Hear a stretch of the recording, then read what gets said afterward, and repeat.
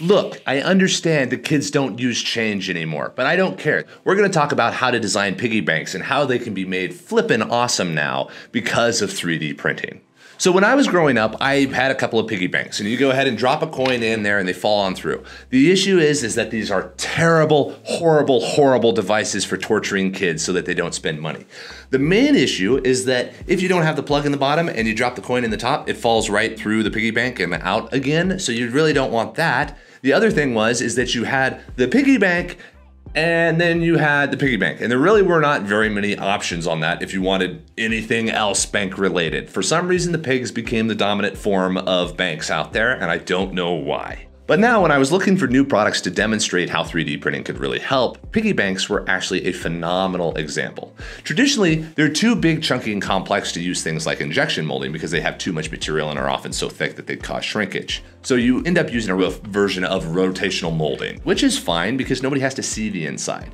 But by using a molding process, you end up having to create this really hollow interior structure to where, as a child, if you are trying to get coins out of the bank, they are going everywhere but the hole in the bottom of the piggy bank. You're shaking and you're hoping that luck smiles upon you and the coin travels through space inside the bank and hits the hole just perfectly for a dunk so that you can get your quarter back from it. This is torture, and by the way, kind of evil of the toy companies way back in the day. And also, have you ever tried to pull a dollar bill out of a piggy bank? It makes no sound, it sticks in some crevasse inside of the piggy bank so you can never get it to move out. And even if you get it over the hole, your poor child fingers are trying to have to pinch it out and pull it out. So most of the time, piggy banks really encourage savings because you could never get your money out. So we wanted to go ahead and solve this.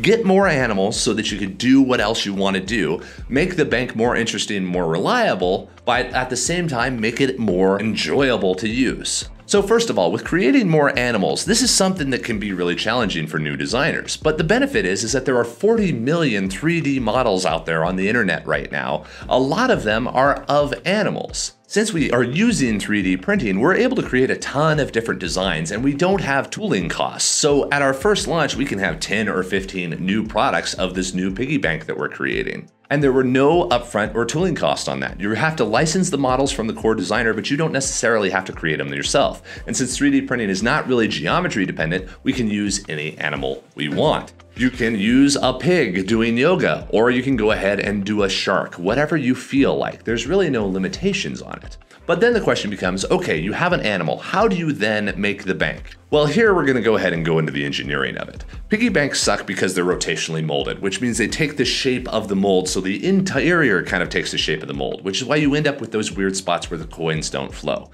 I would rather, as a user, have a piggy bank where the coins can come out of it and are actually funneled out of the hole, so that when the child collects a bunch of coins, they're able to empty the bank and count their money, because it's just a joy when you're five to have coins scattered around you, like Scrooge McDuck, and you learn to swim swim through it and you learn the joys of capitalism.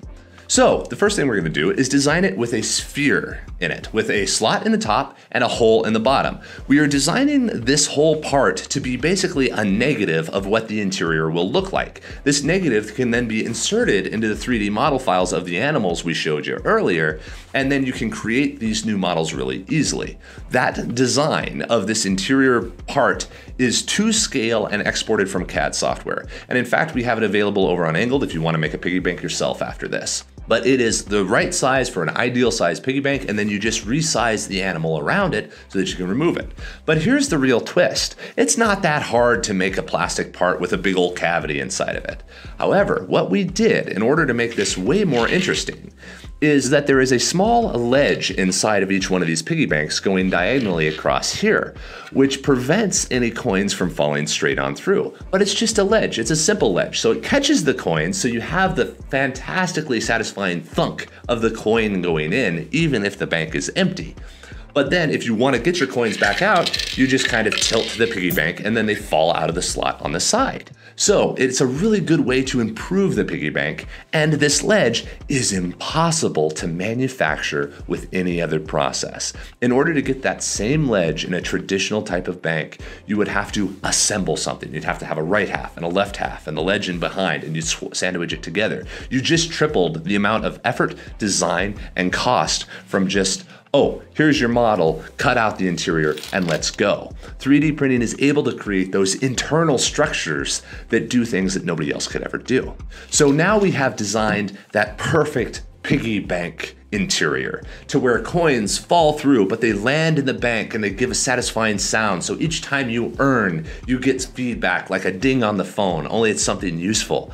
And then if you want to get your coins out, you can because the whole structure allows it to fall out and flow out straight to the hole and we have sourced with another designer who has more expertise all kinds of cool animals so that now we have all kinds of SKUs of nifty new creations that can serve as piggy banks.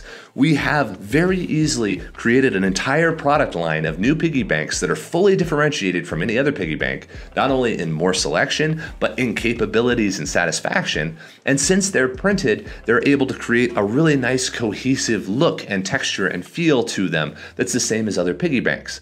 Now, all you have to do is plug in the Etsy app to our print farm, upload these files to each one of your listings, and you are in business, having just designed designed the product. It is that simple. And you've created a product that uses the process of making it to create a strong competitive advantage. You had no molds to get started, you have unlimited scale with a large print farm to support you, and you're able to create tons of variations with a better product.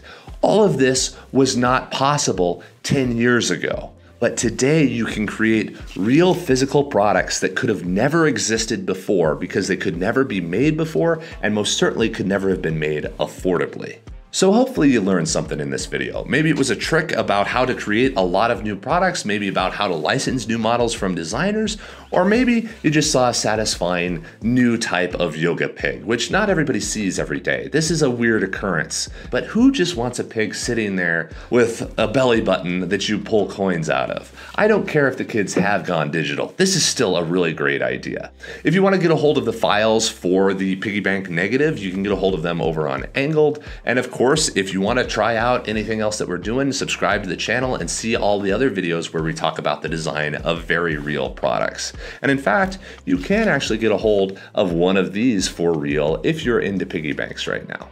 Have a great day, everybody.